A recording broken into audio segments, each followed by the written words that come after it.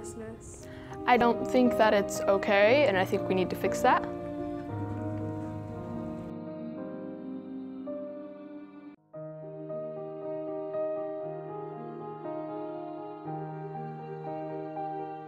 What are your feelings about homelessness?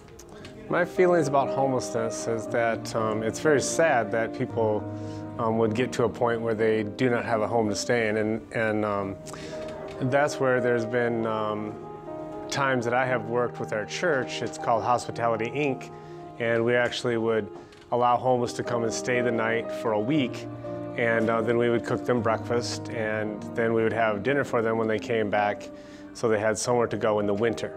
Now in the summer, you know, they would stay in campgrounds or, or wherever they could.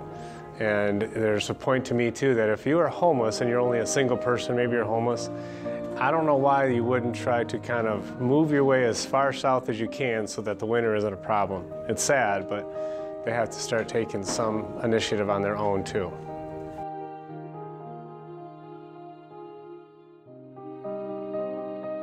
How do you think we could have prevented homelessness? You know, homelessness is, I think, since mankind has been roaming the earth,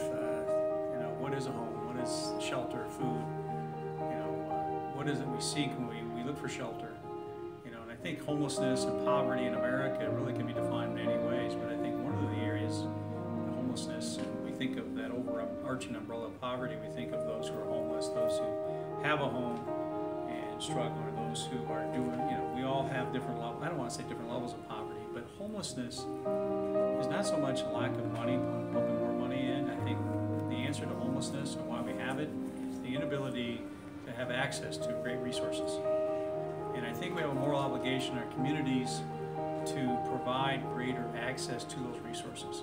Uh, for example, many people in many communities uh, don't know how.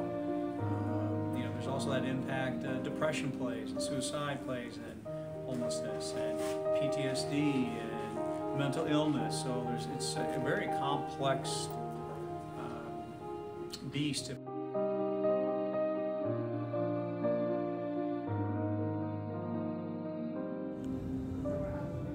What are your feelings about homelessness? I don't think that everyone, I don't think that anyone should have to be homeless. I think that there should be provisions made to provide for people who can't provide for themselves. And I know that those kinds of things are often controversial because people don't want their tax dollars to go to towards supporting other people, but I think that those of us who are capable of providing for others who can't provide for themselves is our moral responsibility.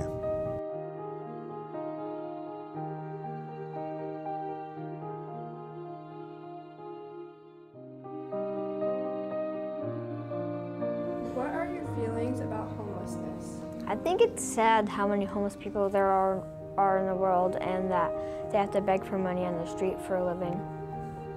Around how many homeless people do you think live in Washington? 120 or so. There are 304.